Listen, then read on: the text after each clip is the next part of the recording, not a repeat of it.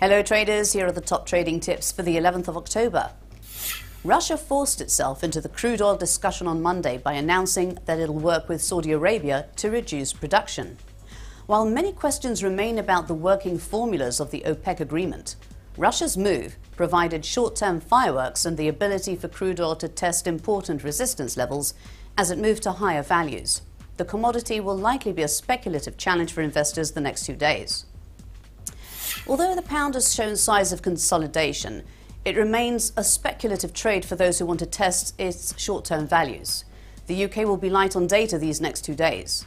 The British currency has been under pressure the past week of trading and remains weak because of Brexit worries. The euro traded weaker against the US dollar Monday, but traders should remember that market volumes were lower than normal because of holidays. Traders need to be on the lookout for short-term reversals on support and resistance levels that may prevail the next two days. The German ZEW economic sentiment reading could have an effect on the euro today, and the EU industrial production numbers on Wednesday could impact values too. Thanks for watching, have a great trading day, and we will see you again soon.